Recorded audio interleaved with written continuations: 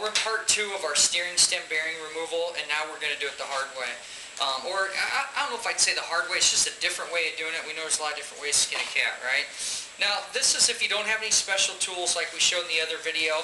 And once again, people take a long drift, and to get this top bearing out, or top race, I should say, we'd come through here, and we basically try and beat on this, and, and try and knock it out. The problem is, that this welded ring right here is not allowing us to get very close to the edge of that bearing that we're trying to hit on.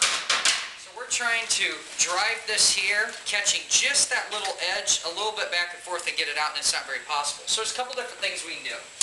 First off, one thing that works really well is we fire up the welder and we literally just weld a bead around this part of the race. We're not welding the race to anything, but we're just going to put a nice big fat bead around here, and a lot of times that bearing will fall right out. Make sense? Now, once I put that bead in there, I'm going to see if it'll actually drive out, but just let me talk this through here. If, if I put the bead on there and it doesn't really give me much grip or whatnot, would you agree that that welded material at least is further in here, and I might have a better chance of getting my punch on it? Does that make sense? So that's a nice little trick. And one of the things I like to do, you've already got the welder out, and what you do is you weld a bead on there. Another thing you can do is find find an appropriate washer and weld a washer to the race. Did we just get a whole bunch of real estate to be able to punch that thing out now? Makes sense. So that's a couple different ways that you can do it as well. And we're going to see real quick here. We went ahead and we cleaned the uh, we went ahead and cleaned the bearing. Obviously, they had grease in there. We don't want to start a fire. Where's our fire extinguisher at? Right over here. You see it over there? Now, the other thing I want to do is I want to protect my work area. So I got a couple of rubber grommets from my tank. I'm going to go ahead and get those out of the way right now. And I have uh, this gauge, but that's my oil tank. I'm just going to be careful not to uh, not to damage this. And what I might do, do I have anything that can cover that up? A piece of metal or something? Sure do. Give me that, dump that pan out.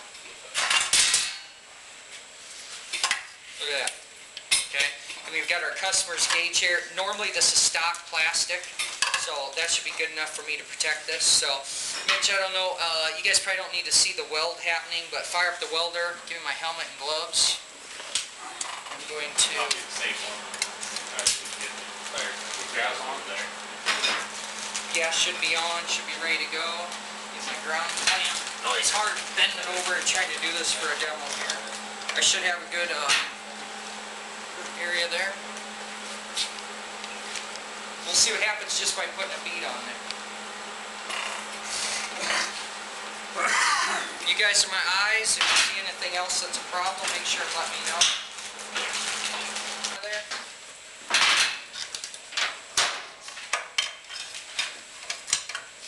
Watch. Look at this.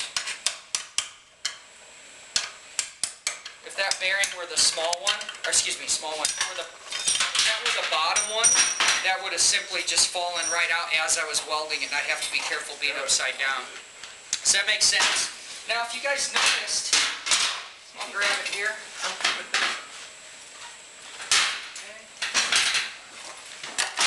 If you notice here, my washer selection I had was just plain too small, and you got to be able to think outside the box, right? I have a welder. I've got plenty of wire in there. Couldn't I just keep putting beads on there until it got small enough where the washer would just sit in place and then I could weld the washer on there?